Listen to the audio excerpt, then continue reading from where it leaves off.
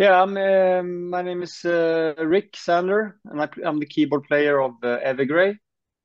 And we're about to uh, release a new album called Theories of Emptiness. Beautiful, mate. Thanks for joining us Yeah. this afternoon. Yeah, thank you for having me. My pleasure. So, as you mentioned, my friend, Evergrey released your 14th studio album, Theories of Emptiness, on June the 7th. So, after so many albums, mate, 14 is a lot. Like, after so many, do you, do you still get nervous in the lead up to a new release, or is it sort of like now, ah, you know, I've been there, done that? Yeah, I've been there, done that, but uh, I'm I'm still uh, we we still uh, we still put so much effort into uh, every album we do. Uh, I mean, it's um, we we always try to do our best, and we always try to top the previous albums. So of course, we are uh, very anxious to see how it's going to be received, and um, yeah, we're always a little bit nervous, of course. Uh, because you really we've been in the process for such a long time so we really don't know we we don't have like an objective side of it yet so it's uh it's it feels good when you start to get some good reviews and uh, hear people liking it so Always feel like the pressure uh, goes away a little bit yeah So, so on that subject, man, like 14 albums is a hell of a lot, and there's a lot more songs than that over 14 albums. So, do you find that the, the more music you write and the more music you put out, like, do you find it becomes easier or harder to come up with something that sort of sounds fresh and, and new to you the more you write? Well it it it, it could it could be but um we always try to find new angles for every release. We try to do, I mean, we're not going to change completely. We're still Evergrey and we're going to put out Evergrey music, but we try to find a new way of writing, maybe just to try to keep it fresh. Uh, and I think the new angle on this album is is um, mostly that uh, Johan, our bass player, has uh, written a lot of music, and he hasn't done that before. Okay. So that naturally made it a little bit uh, different, actually. So tell us a bit more about Theories of Emptiness from a musical point of view, mate, and what you were going for with the sound. Uh, we also changed uh, the the uh, mix uh, mixing guy. Uh, we had uh, Jacob Hansen, very very good Danish engineer who mixed our like last five albums or something but we uh, we felt we uh, wanted to to um, develop in that department as well. So we had an English guy called Nolly Getgood, and um, that of course makes it a little bit different. Uh, and that was approach we want, wanted to make uh, it a bit different, just to to uh, making ourselves ourselves more um, how do you say uh, I don't know to, to uh, I can't find English words right now, but uh, surprise ourselves a little bit. Yeah. I would say. Very cool. Yeah. Along those lines, like how would you say that this album differs musically to your previous album, A Heartless Portrait? It's it's it's a bit hard to say. I mean, it's it, we we all our main focus is to write good songs and do the music the best we can. Um, and then then it's always different eras of our lives, and um, so so it naturally it something uh, new will happen. And uh, like I said, Johan wrote a lot of songs on this album that I think made the sound a little bit different. Uh, but I mean, we're still the same guys playing the instruments, uh, the same guys singing the songs. So you're not going to hear that much of a change. Uh, but uh, hopefully, people feel that it's fresh. Although we we uh, released so many albums, uh, hopefully people will think this this one also will have a contribution for our catalog. Um, an, an early review that i've read of the album has called it possibly your best album ever. Like, and I know you're going to be biased, mate, but would you agree with that? Like, do you feel that strongly about it? It's it's it, this early. It's impossible to say. Yeah, because um, it's it's like when when when we when we finish an album, it's like yeah, we we think we think we've done our best. We think this is good, but when people say this is our best, I mean that's not that's nothing that you I don't know. It's it, it's a surprise that yeah. people feel that after after so many albums that we still can make our best album. it's uh, it's it feels it feels very unreal actually. I, I, I, for me it was like yeah I, I think it's a decent album so, uh, so I'm I'm a bit I'm a bit yeah I got some some good tunes you know so so when when people when people say things like that, I get really surprised actually. That's good. And the album closes with the song A Theory of Emptiness, but there's no track actually called Theories of Emptiness. Like, I know it's only a small discrepancy in titles, but I'm guessing that means it's the actual title of the album's got a, a bit more meaning because there's no song named directly after it. No, exactly. And and the the the whole lyric thing is is um, is more or less Tom. Tom's uh, our our lead singer. It's his area all the way. He writes like hundred percent of the lyrics.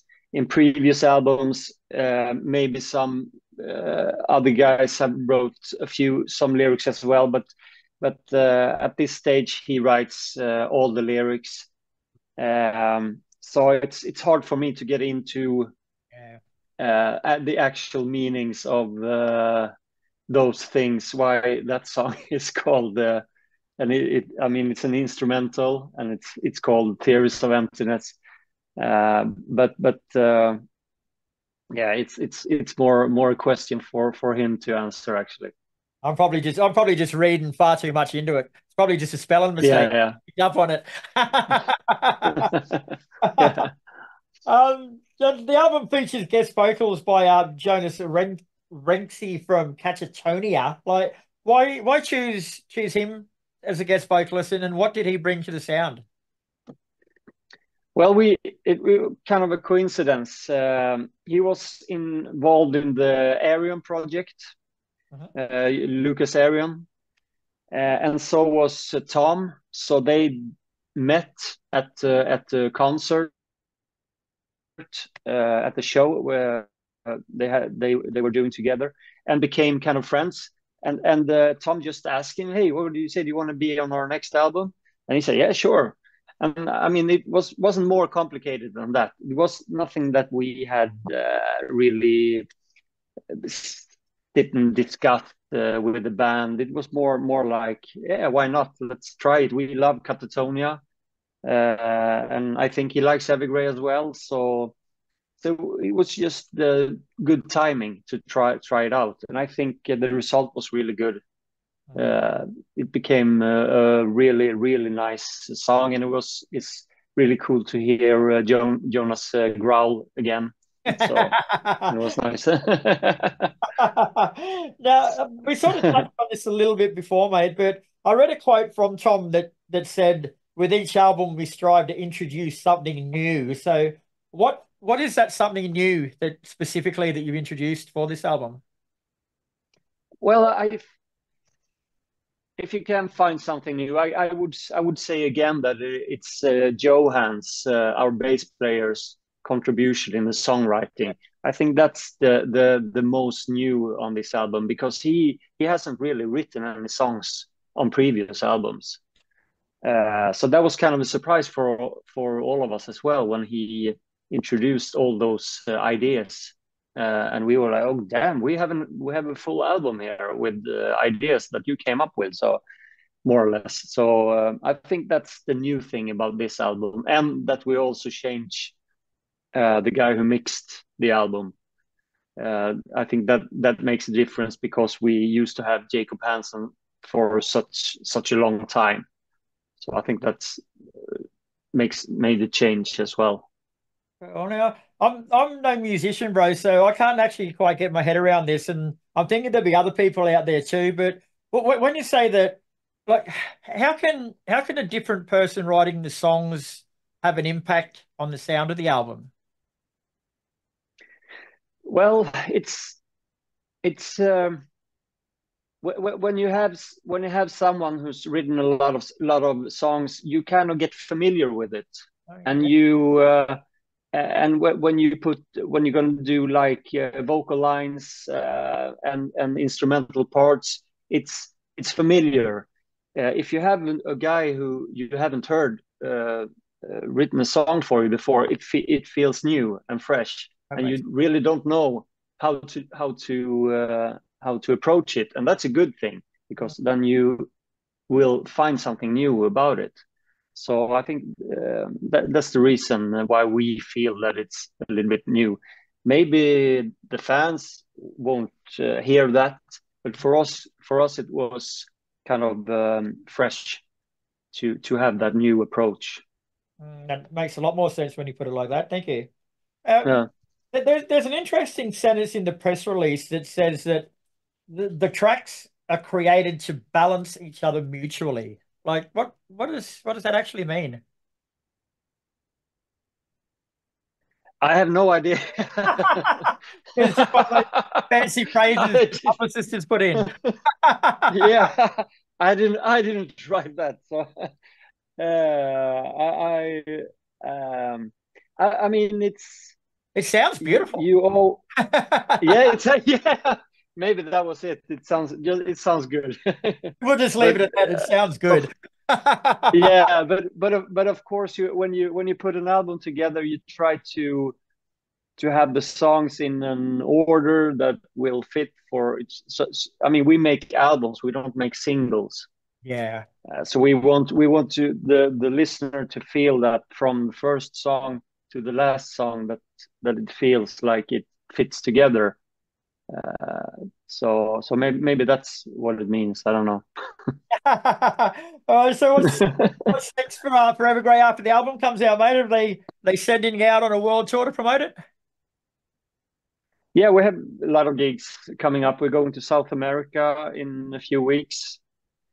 Uh, and then we uh, be back in Europe and do a lot of festivals. Uh, and then we have like a Scandinavian tour in September, and then we have uh, a European tour in the fall. Uh, and that's about it for this year. Next year, I don't really know the plans, but uh, that's about it for for this year. The plans for this year. Sounds like you better get some rest in now, mate, while you can. You got a busy ass end yeah. up. De yeah, definitely. it's gonna be very busy. Very good. All right, Richard, thanks very much for your time today, mate. Been a pleasure speaking with you. Theories of Emptiness is out on June the 7th, and it's another cracker of an album from Evergrey. Like, you guys are one of those bands that just consistently get better, mate. I don't know how you do it, but keep doing it.